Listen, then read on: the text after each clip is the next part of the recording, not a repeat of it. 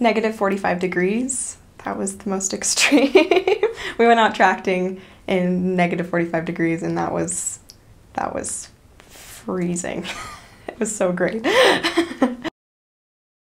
moose. There's a lot of moose in Maine, so we'd hear about people running over mo- moose mooses. um, and we we'd sometimes we'd pass them like on the road. We'd pass moose. Lots of tights, lots of things that are made of wool.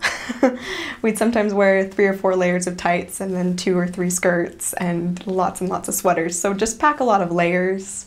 I think would be the best thing. Poutine, it's got to be the favorite. Canada, of course. Um, French fries with gravy and cheese curds on top. It's really good. I really didn't have any exotic food experiences. Um, I do know missionaries from my mission that would serve in Newfoundland and they'd have to eat like whole dead fish, like sardine type thing, or like seal blubber. I don't know, just really gross things there. I never had to experience that, so I probably the most exotic thing I'd eat was like mac and cheese that had lettuce in it. I don't know, like not really, not really that exotic where I was at. We were out tracting and we knocked on the door. It was it was spring break, so there was no one home except the really old people. And so this this man answers the door and he's not wearing a shirt and he's just wearing his boxers and he's probably in his 70s and he just he's very he's either very drunk or very hungover we're not very sure at this point but it was like noon so like i don't know what that was about but he just started like yelling at us in gibberish no cohesive words just in gibberish and um, he kept trying to give us money because the Jehovah's Witnesses that would walk around, they would requ- like request money for their congregation. So people a lot of the time mistook us for Jehovah's Witnesses, and so they'd give us money to have us leave.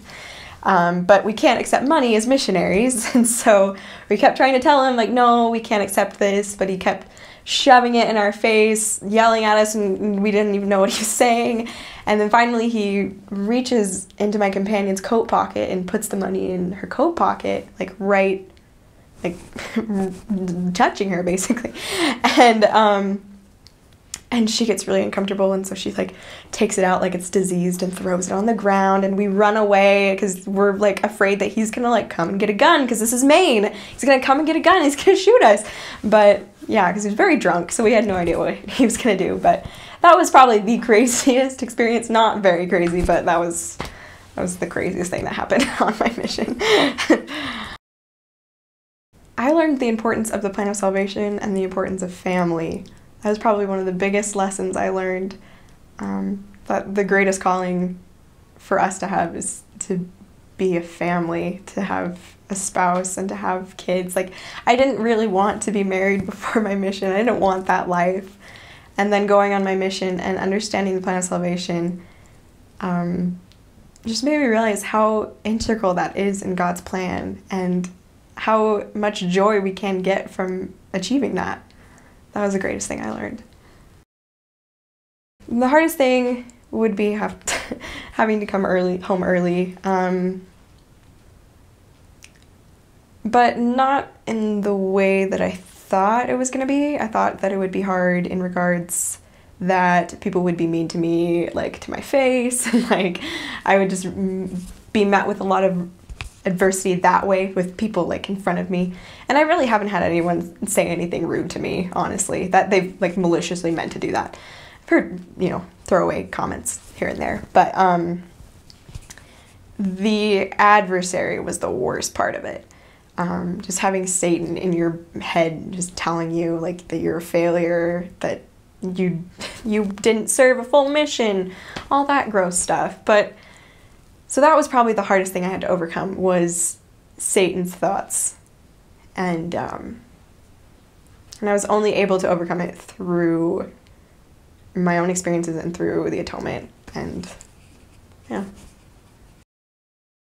There's a girl I taught in my first area, um, and she was baptized. We taught her. She was taught previously by missionaries, and then things just happened to work out when we were there, she was able to be baptized. So we retaught her the lessons and she was baptized.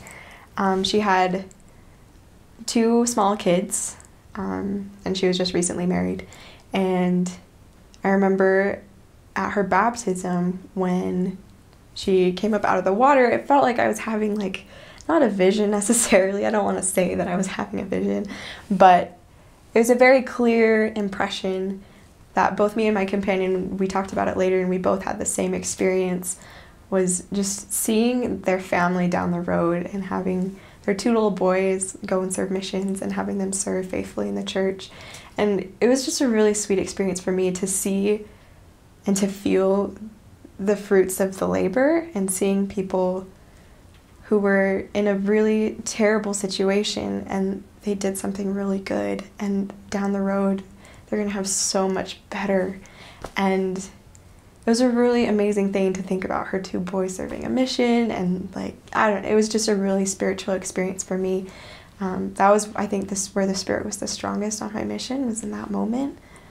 Um, was seeing her come out of the water